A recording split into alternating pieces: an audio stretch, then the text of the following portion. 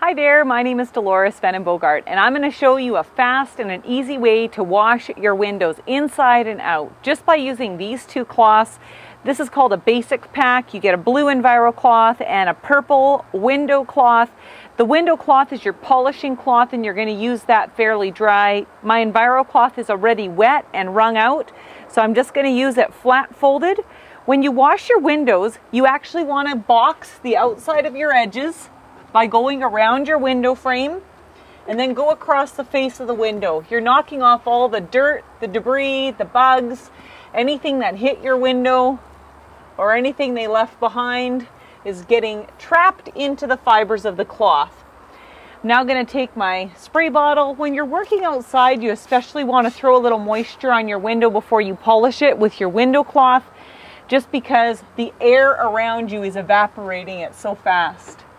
So once again, just polish first around the outside edges of your window frame, then go across the face of your window.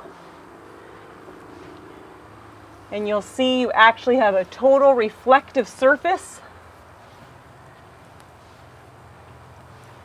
right behind you.